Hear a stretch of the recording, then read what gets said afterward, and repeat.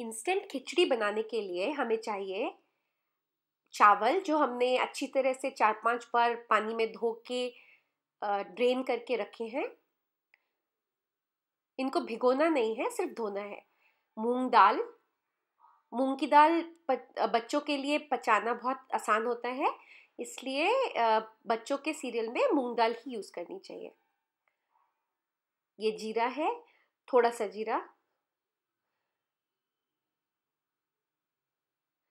एक fry pan को आप गरम कर लीजिए और इसमें धुले हुए चावल डालिए और पानी को ओढ़ने दीजिए।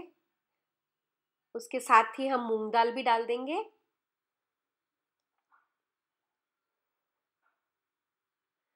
हमें इन दोनों को अच्छी तरह भूनना है ताकि ये बिल्कुल कड़क हो जाए और इनको पीसना बहुत आसान हो जाए।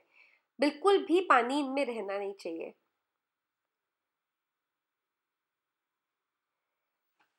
देखिए, अभी अच्छे से भुन चुके हैं।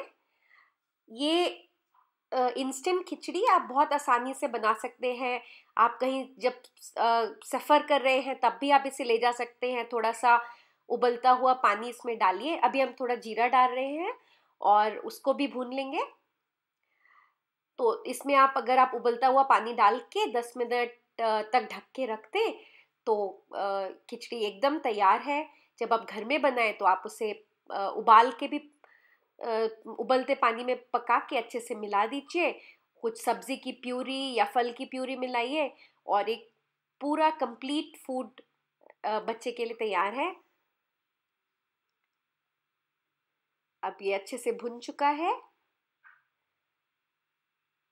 हम इसको एक अलग प्लेट में निकाल के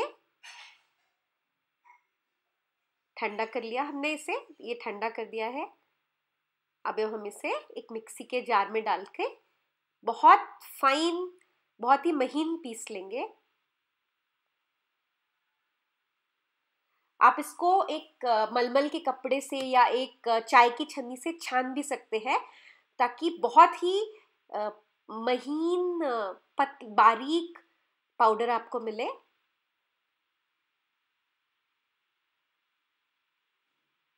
बारीक पाउडर तुरंत गर्म पानी जैसे ही आप इसमें डालेंगे, वो पक जाएगा। हमने ऑलरेडी इसे हाफ़ कुक कर रखा है। देखिए, अब हम इसको देखते हैं, कैसे बनाते हैं।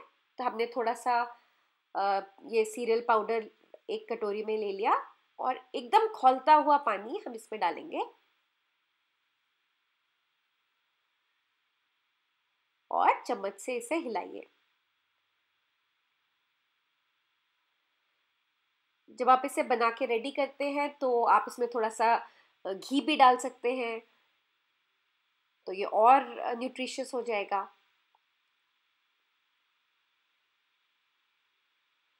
घर के बने सीरियल हमेशा रेडीमेड सीरियल से ज़्यादा अच्छे होते हैं। देखिए, अब ये रेडी है। हमने इसे थोड़ा पतला ही रखा है, क्योंकि ये छोटे बच्चों के लिए है। पर आप अपने हिसाब से इसे कम ज़्यादा कर सकते हैं। ये बिल्कुल रेडी है आपके लिए और आपके बेबी के लिए।